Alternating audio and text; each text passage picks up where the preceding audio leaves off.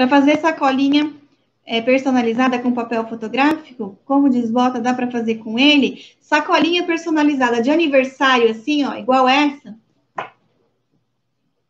Essa daqui, por exemplo, ó. Se você for fazer no papel é, fotográfico para festa, pode fazer sem laminar. Não precisa, porque, gente, vamos, vamos ser realistas aqui, né? Quando a gente faz lembrancinha para festa, antes de acabar a festa, as lembrancinhas estão todas rasgadas no chão. Quem nunca viveu essa experiência? Eu já vivi.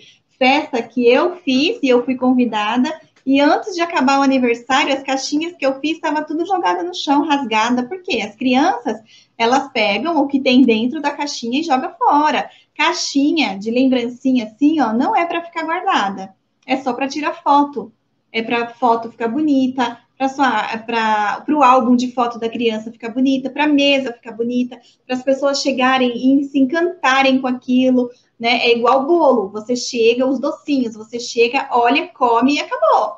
Não é para ficar guardando. Então, pode ser no fotográfico, se você gostar de papel brilhante, pode usar fotográfico sim. Não é um produto que vai ter durabilidade. Todo produto que vai ter durabilidade precisa ser laminado, se for no fotográfico, ou fazer com outro papel, tá bom? É, dá uma dose, dá mesmo, gente. Ainda mais a gente, quando a gente que faz, né? Mas é normal, é assim que acontece, é a lei dos aniversários. Antes de acabar, joga fora.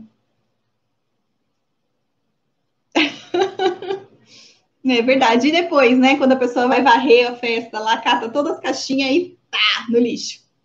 É isso mesmo, mas é faz parte. O que ficou? Ficou a lembrança, ficaram as fotos, né?